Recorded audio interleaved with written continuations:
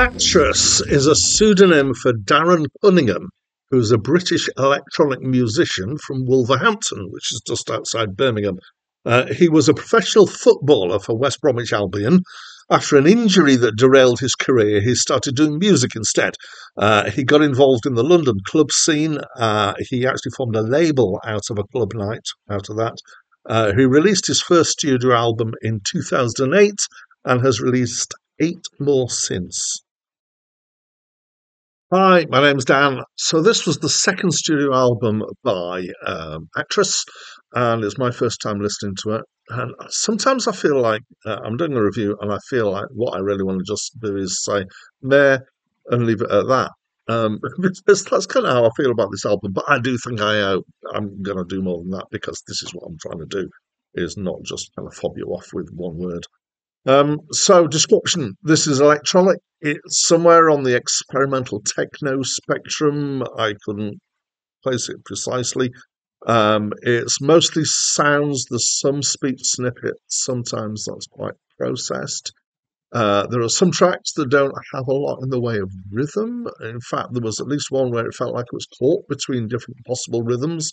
And as soon as you felt like you'd got place where you could kind of feel where there's some regularity. Not everything was in time for that, so I presume that that's um, uh, deliberate. Sometimes it feels like it's music where it's had a rhythm and the the rhythm's been taken out, and so it's kind of like it's it's got the the backing stuff without actual rhythm. Uh, sometimes there's some deep synthy bass noises. Uh, sometimes there's some twittery percussive noises. Sometimes there's noises that kind of sound like notes, but there's quite a lot that's just noises in there with uh, rhythms going on. Uh, yeah, uh, a few tracks of grooves that I like. Um, so the the tracks that I liked most are the ones where you got a groove, and I actually quite enjoyed the groove. Um, some of them, uh, the ones that I liked least, were ones where they used a particular bass that sounded like it was overdriving speakers with a bit of distortion that sounds like that. So there's different kinds of distortion. I know there's loads of different kinds of distortion. Um, the classic one is the sound of uh, overdriven valves from a valve amp, um, and that's that kind of classic crunchy guitar sound uh, that you get. Um, and uh, yeah, I, I, quite like a bit of that kind of overdrive. In fact, sometimes quite a lot of that kind of distortion. But uh, I don't like distortion when it's the, the kind that just sounds like it's the speakers being pushed too far. It sounds ugly to me. Um, mm, yeah, maybe it's because I've done a bit of sound stuff in the past, and you know, I try and avoid nasty sounds like that, and the the sound of mains hum and things like that. Um, so those kind of things tend to put me off. Uh, sometimes it uses so that this isn't the first time that I've reviewed an actress album. The last time I uh, started commenting about this uh, sound that you get, which is the kind of a ducking in the uh, the level of the sound, um, and sometimes that happens with um, when there's a bass beat, um, and that's called sidechain ducking.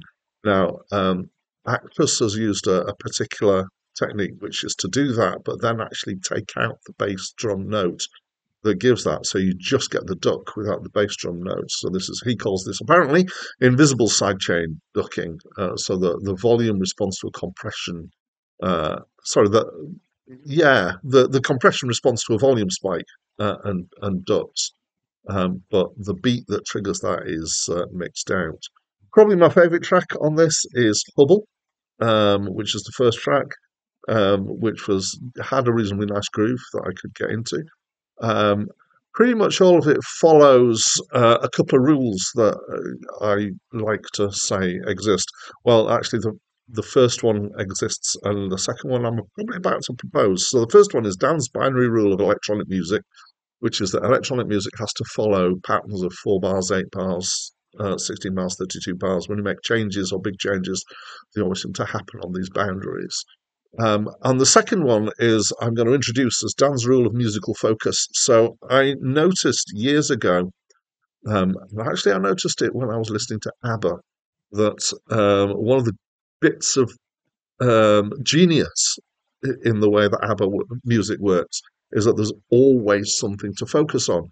So when it's the singing, there's the singing, but in the between the singing, there's nice hooky bits of instrumental stuff going on. Um, and having realised that years ago, it is something that I've used as a thought on music since. Is that you know when you're listening to something, what is the intended focus at this point?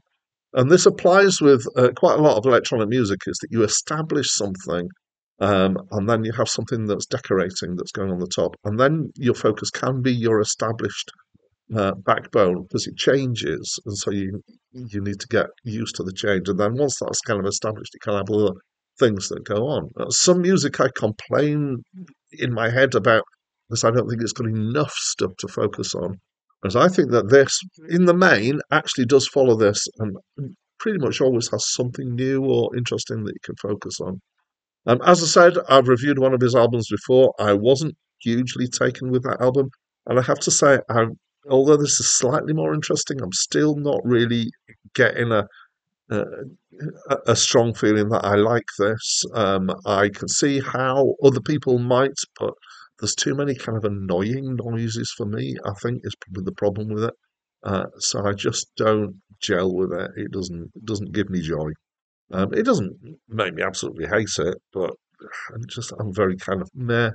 So I, yeah, in the end, I'm coming back to the word meh. That's what I think. What do you think? I'd love to know what you think of this album, so please do talk to me through a comment. And that's it from me for now.